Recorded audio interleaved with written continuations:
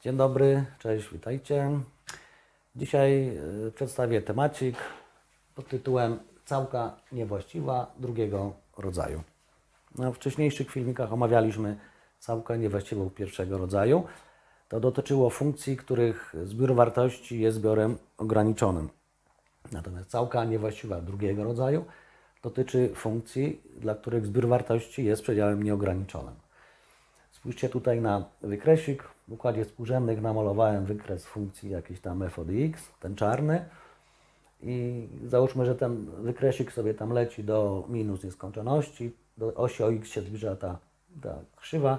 Jak zrzutuję tę krzywą na oś y, to zbiór wartości będzie przedziałem od zera otwarty i tu sobie leci do nieskończoności.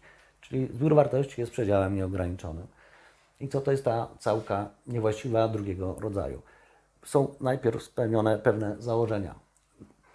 Funkcja f, gdzie wykres ten czarny jest dla tej funkcji, ma być określona w przedziale zamkniętym od a do b otwartym.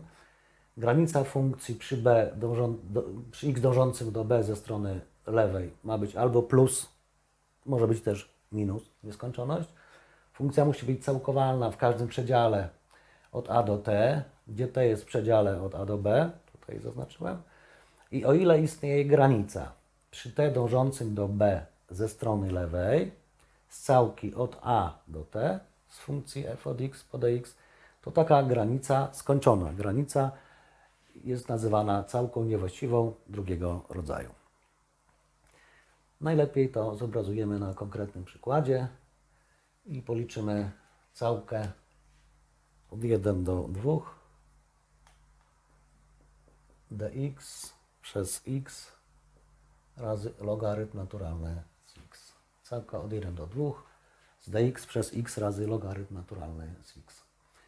Zacznijmy od wyznaczenia dziedziny tej funkcji. Mianownik nie może być zerem, czyli x nie może być zerem i logarytm naturalny z x nie może być zerem. I x jest w logarytmie, czyli x musi być większe od 0 czyli e do zerowej to jest 1, czyli x różne od 1, x większe od 0. Zatem dziedzina funkcji to jest przedział, suma przedziałów od 0 do 1 i od 1 do nieskończoności. A my liczmy całeczkę od 1 do 2. Od 1 do 2. Jak się będzie x dążył do 1 ze strony prawej, no to wartości będą dążyć do minus nieskończoności. Więc mamy tutaj do czynienia całką niewłaściwą drugiego rodzaju. Jak tę całkę będziemy liczyć? O ile istnieje granica limes przy t dążącym do jedynki ze strony prawej z całki od y, t do 2 dx przez x razy logarytm naturalny z x. Całka od t do 2 i w takim razie, żeby tę całeczkę, tę granicę policzyć, to najpierw muszę policzyć tę całkę oznaczoną, ale najpierw całkę nieoznaczoną. No to zajmijmy się najpierw całeczką tą nieoznaczoną. Całka dx przez x razy logarytm naturalny z x. No i prościej będzie obliczyć tę całkę metodą przez podstawianie. Jeśli w miejsce logarytmu z x damy t, Pochodna z logarytmu to jest 1 przez x. Mamy tutaj 1 przez x po dx i wyjdzie już całka podstawowa. W takim razie za logarytm naturalny z x damy t. Różniczkujemy. Pochodna z logarytmu z x to jest 1 przez x, czyli dx przez x równa się dt. Zatem dx to jest x razy d a nie, tego nawet nie trzeba. Po co mnie to? Wystarczy mi dx przez x, bo tutaj mam to dx przez x, prawda? Więc przepisuję symbol całki i mam 1 przez logarytm naturalny podstawiłem t, a dx przez x, dx przez x to jest dt. I całka z 1 przez t to jest logarytm naturalny z wartości bezwzględnej z t, ale t to jest logarytm naturalny z x logarytm naturalny z x plus c.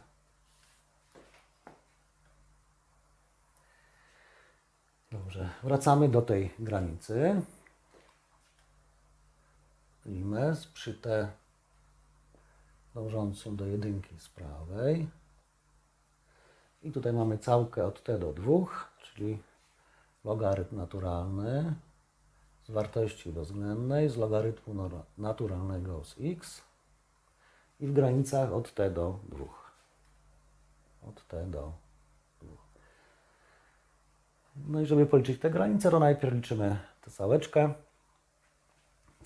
czyli przepisujemy symbol granicy, limes przy t dążącym do jedynki z prawej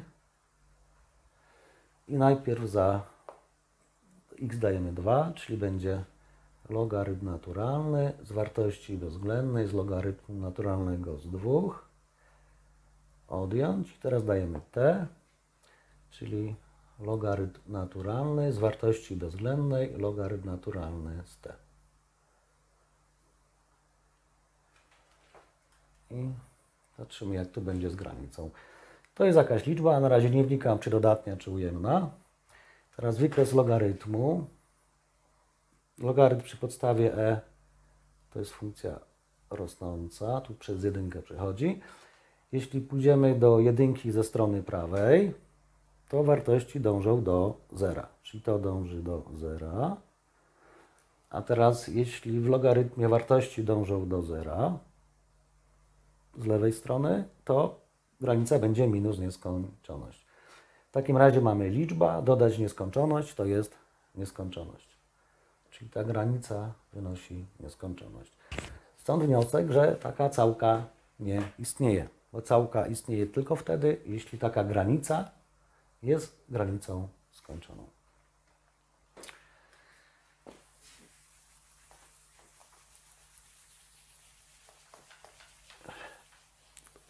Dajmy drugi przykładzik. Całka od 0 do 1 dx przez pierwiastek 4x minus 4x kwadrat. Mamy policzyć taką całeczkę.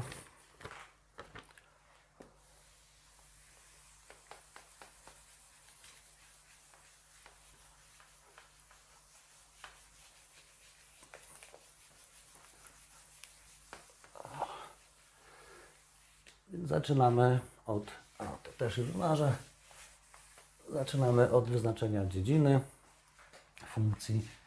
Wyrażenie pod pierwiastkiem musi być większe lub równe, ale to jest już jednocześnie mianownik, więc musi być większe od 0. Podzielmy przez 4, czyli x minus x kwadrat musi być większe od 0. x wyłączymy przed nawias. Ups. x wyłączymy przed nawias, będzie 1 minus x. Mamy nierówność kwadratową. Miejsca zerowe to są 0 i 1. Przy kwadracie mamy znak minus, czyli parabola, która jest wykresem funkcji tej z lewej strony ma gąski skierowane w dół i większe od 0. Czyli dziedzina funkcji to jest przedział otwarty od 0 do 1. My mamy liczyć całkę od 0 do 1. Więc jest problem, bo jak damy 0, to w mianowniku jest 0, jak damy 1, to w mianowniku też 1. No to rozdzielimy całeczkę na dwie całki. Całka od 0 do 1 drugiej. dx pierwiastek 4x minus 4x kwadrat dodać. I teraz od 1 drugiej do 1 dx pierwiastek 4x minus 4x kwadrat. I teraz już mamy prostą sprawę. Obliczymy osobno tę całeczkę, tę całeczkę, czyli granice odpowiednie. To się równa limes przy t dążącym.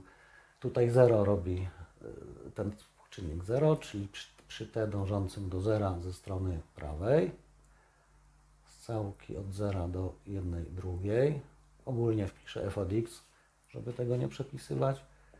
Dodać limes przy t dążącym. Tutaj 0 robi 1, czyli będzie przy t dążącym do 1 i ze strony lewej. I z całeczki od y, momencik, tutaj było t, przy, tak, a tutaj jest przy t dążącym do minus 1, od jednej drugiej do t. Z f od x po dx po dx. Takie dwie granice mamy policzyć, a przed granicami musimy policzyć całeczki. Więc zaczniemy znowu od całki nieoznaczonej. Całka dx przez pierwiastek 4x minus 4x kwadrat. Co tu można zrobić? Z jednej strony mamy pod pierwiastkiem trójmian, więc to się kojarzy z podstawieniem Eulera, ale można też skojarzyć, skoro jest kwadrat pod pierwiastkiem, z arkusem sinusem. W arkusie sinusie powinno być 1 przez pierwiastek z 1 minus i tam coś do kwadratu, tam na przykład t kwadrat. No to tak spróbujmy zrobić, czyli tutaj doprowadzić do wzoru skróconego mnożenia. Czyli przepiszemy pierwiastek. Tu jest coś do kwadratu, podwojony iloczyn, tu brakuje jedynki. W takim razie napiszemy 1 minus 1, tak naprawdę to jest 0. I dopiszemy 4x minus 4x kwadrat. Czyli dalej jest to, co było na stronie lewej, minus 4x kwadrat plus 4x to jest 0. Ale tutaj się będzie pojawiał wzór skróconego mnożenia. Czyli pod pierwiastkiem 1 przepiszę, minus wyłączę i wtedy będzie 4x kwadrat minus 4x i dodać 1. Jakbym opuścił, to jest minus 4x kwadrat, gra, plus 4x, gra i minus 1 gra. To się równa dx przez pierwiastek i pod pierwiastkiem jest 1 minus i w tym nawiasiku mamy wzór 2x minus 1 do kwadratu. 2x minus 1 do kwadratu. I jeśli w miejsce 2x minus 1 dam literkę t, no to już będzie arcus sinus t. Dobrze, to sobie zmaszmy. Czyli teraz tutaj w miejsce 2x minus 1 dajemy t. Różniczkujemy. Pochodna z 2x minus 1 to jest 2. Czyli 2dx to jest dt. Podzielimy przez 2. dx to jest dt przez 2. Podstawiamy. Za dx dajemy dt przez 2, czyli jedną drugą już dam przed całeczkę. Dt i pierwiastek 1 minus 2x minus 1 to jest t, czyli t kwadrat. Czyli to się równa 1 druga i ta całka to jest arcus sinus t, ale t to jest 2x minus 1, czyli 2x minus 1 plus stała całkowania. Czyli tę całeczkę już mamy policzoną. Coś trzeba zmazać. To mamy liczyć. Dobra, czyli jedziemy dalej. Limes przy t dążącym do zera z prawej, z tej całeczki, czyli jedna druga arcus sinus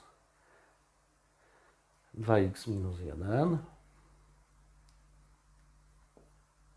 W granicach tutaj mamy od t do jednej drugiej. Dodać. Limes, teraz ta granica, czyli przy t dążącym do zera z prawej. I z tej całeczki, czyli jedna druga arcus sinus 2x minus 1 I tu mamy w granicach całkowania od t do jednej drugiej. Przepraszam, tu, tu jesteśmy od jednej drugiej do t. Od jednej drugiej do t. To się równa. Dobrze. Teraz przepisujemy limes przy t dążącym do zera z prawej. Dajemy najpierw jedną drugą tutaj, a potem t. Jak damy jedną drugą, 2 razy jedna druga to jest 1, 1 minus 1 to jest 0, arkus sinus 0 to jest 0. No to tego nie piszemy, odjąć i teraz dajemy t. Czyli 1 druga arkus sinus 2t minus 1. 2t minus 1.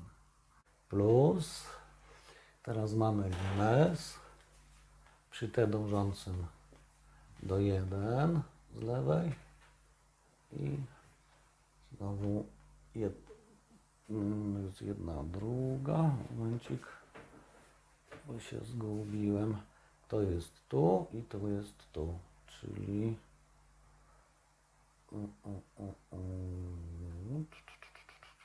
dobra, jedna druga, arcus sinus 2x minus 1 to się równa.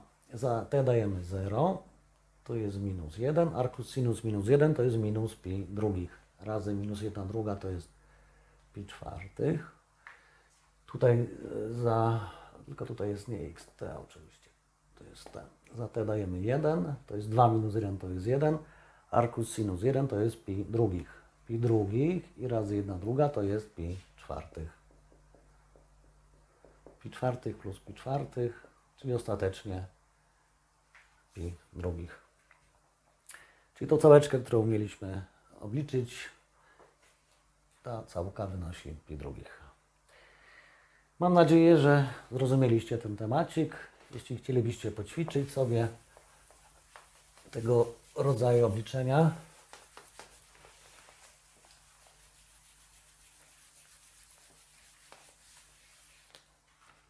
to obliczę sobie całeczkę od 0 do 2 dx przez x kwadrat minus 4x plus 3 i tu odpowiedź taka całka nie istnieje. Nie istnieje to albo granica odpowiednia jest granicą nieskończoność lub minus nieskończoność, albo po prostu nie ma takiej granicy. I druga całeczka, całka od 0 do 1, x razy logarytm naturalny z x po dx. I ta z kolei całeczka równa się minus 1 czwarta. Tutaj całkę oznaczoną najprościej policzyć metodą całkowania przez części. No to żegnam się na dzisiaj tyle. Czekam na lajki, jeśli się podobało. Dawajcie suby. Do miłego zobaczenia.